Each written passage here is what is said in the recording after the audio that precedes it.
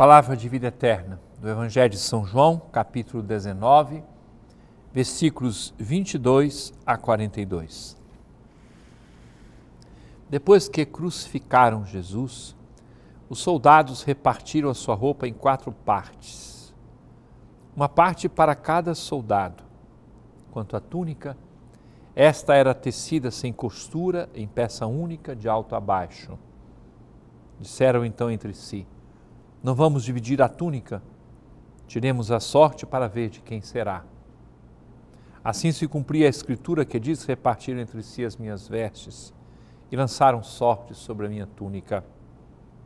Assim procederam os soldados.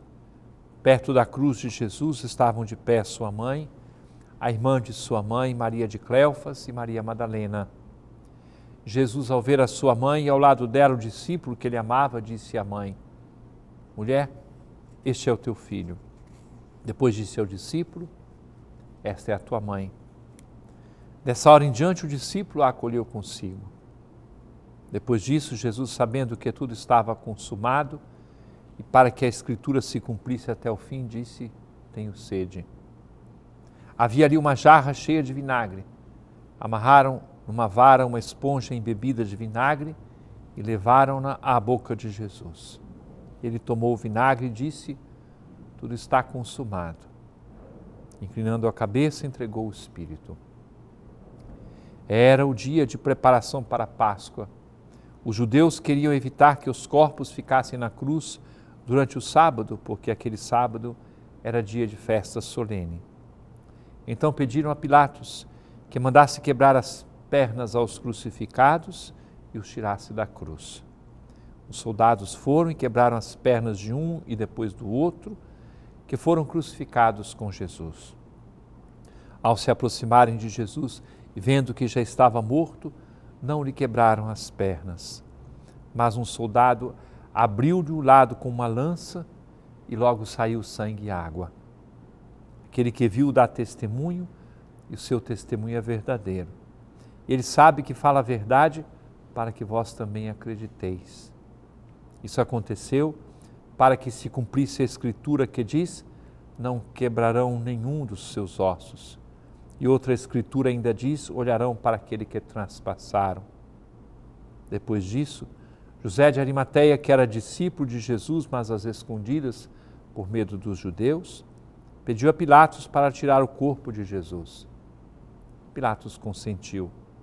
Então José veio tirar o corpo de Jesus. Chegou também Nicodemos, o mesmo que antes tinha ido de noite encontrar-se com Jesus. Levou uns 30 quilos de perfume feito de mirra e aloés. Então tomaram o corpo de Jesus e envolveram-no com os aromas e em faixas de linho, como os judeus costumam sepultar. No lugar onde Jesus foi crucificado havia um jardim.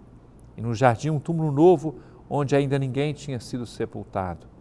Por causa da preparação da Páscoa, e como o túmulo estava ali perto, foi ali que colocaram Jesus irmãos e irmãs, estamos diante da morte redentora de nosso Senhor Jesus Cristo. Morto num jardim, sepultado num jardim, pensemos em outros jardins, ou das oliveiras, ou o jardim da criação do mundo. Pensemos não só nas sementes, mas nas flores e nos frutos. Hoje é o dia da vitória porque quando a morte matou Jesus, é a própria morte que foi morta. É o dia da vitória sobre o demônio, sobre a maldade, sobre o pecado. E por isso nós podemos dizer, vivendo esta Sexta-feira Santa, nós os adoramos, Senhor Jesus Cristo, e vos bendizemos, porque pela vossa Santa Cruz remistes o mundo.